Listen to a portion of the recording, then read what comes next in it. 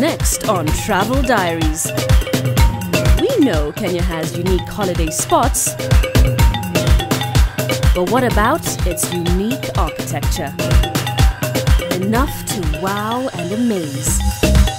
From various parts of Kenya, we reveal the most amazing places to go on holiday with the most unique architecture.